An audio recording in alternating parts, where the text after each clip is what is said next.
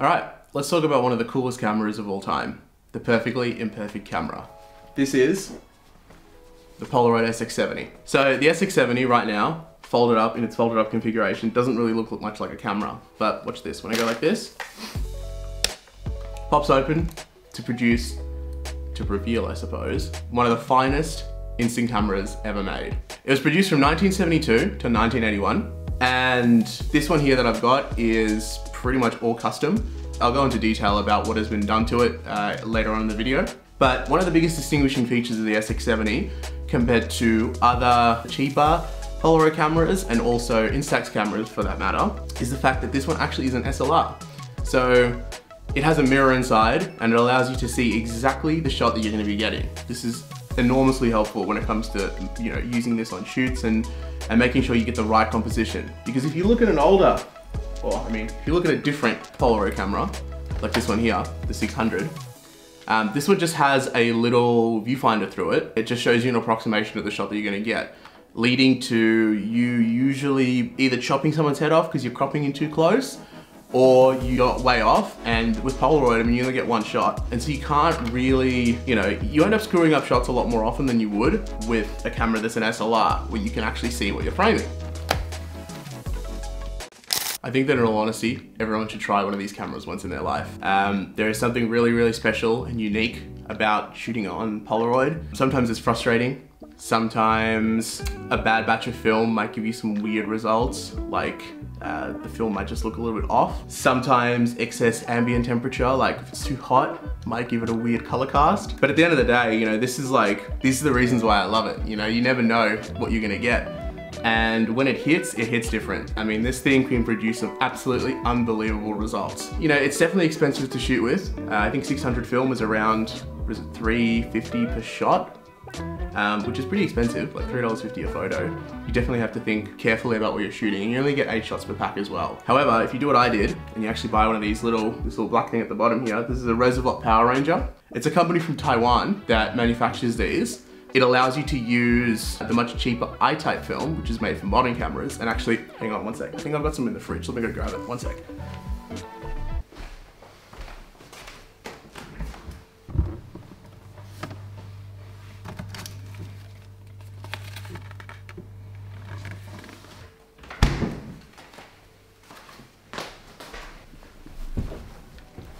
This is I-type film. This is a lot cheaper than 600 film. This actually brings the cost of shooting down to about two, $2.50 per shot compared to 600 film at least, which is you know, really, really good. Like that's definitely, it's not cheap, but it's it's a lot better than, um, than using 600 film. And the bonus of it as well is that when you discard these packs, there's no battery inside of them. That's the only difference between I-type and 600 film is there's a battery inside of it inside a 600 film. It's better for the environment because you're not actually allowed to, well, you shouldn't really be throwing batteries into the bin, you should be getting them recycled. So if you can't be bothered basically saving up all your 600 packs and taking them somewhere to get recycled, shooting I-type film, all this is is just recyclable plastic. So you can throw this in a recycling bin, no worries, no issues. You save money and the earth is happy.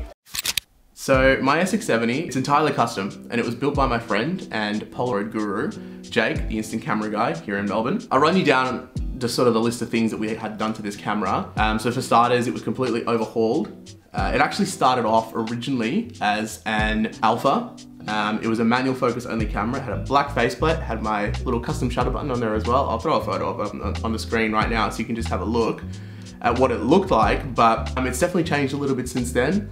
Um, most recently, we, we have a bit of a brain transplant. We took out the whole front of the camera um, the shutter, um, and we replaced it with this old sonar unit. And yeah, that basically gave this camera autofocus, which is really, really cool. And we also put a silver faceplate on as well, which gives it this nice panda appearance. The other thing we had done to this camera is we've actually uh, the whole camera in this beautiful Aki-Asahi Japanese leather, which gives it this beautiful sort of all black look. Overall, this camera just produces some absolutely unbelievable results. You know, I love using it on shoots. Um, I usually scan these images in on an Epson V700 and they scan fantastically as well. I mean, especially with the sonar now, I never have to worry about missing focus, which is great too. That was one of the downsides of not having autofocus was that sometimes you would just, you would miss, shot would be blurry, with this thing, it never misses. It's actually fantastic. I mean, the sonar in this thing is unbelievable. I'd love to see like a modern camera with something like this. Um, I, although I don't really think that that's necessary, but it would be cool. It would be cool to see a big gold circle on top of a camera sometime soon. I don't know. Anyway. So if you've got an SX70, I would really highly recommend getting it converted to be able to shoot 600 film. Biggest difference between 600 and SX70 film, A, 600 film is much easier to find, B, SX70 is only 160 ISO, whereas 600 film is 640 ISO. Um, given the fact that the lens on this thing can only open up to about f8 aperture, you really, really want that extra ISO light sensitivity because otherwise you really can't shoot in anything but broad daylight. Thankfully, it's pretty easy to convert it. Um, any Polaroid technician can actually do it for you. Um, Jake, I know, does that as part of his sort of overhaul of any SX70 that he gets. Um, you know, you can send him a camera from anywhere in the world and he can get it done for you. His prices are reasonable and I love what he did with this camera. I think it's, yeah, I'm, I'm super happy with it. I'm really, really stoked.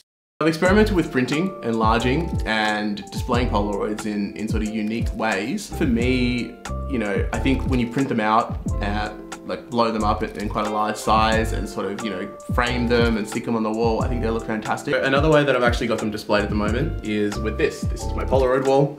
Um, basically, when people come over, take a photo of them on the Polaroid in front of, in front of one of these white walls, get them to sign their name in their handwriting, and then it goes on the wall.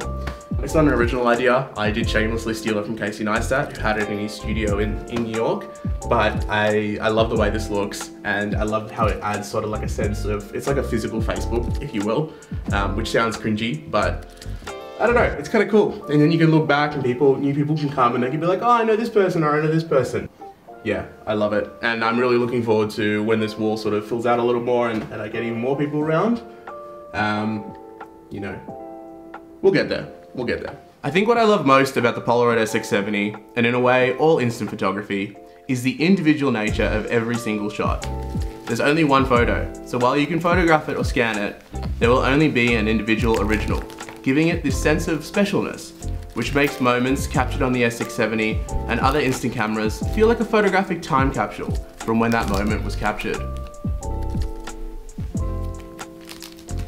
I've captured many special moments with this camera, and while you never know what you're gonna get when you press that satisfying shutter button, I love having them in these beautiful albums. You know, this really is the perfectly imperfect camera. And yeah, I hope you enjoyed this video. Please subscribe if you liked it. Um, leave a like, leave a comment. I love hearing your thoughts. And thank you so much for watching.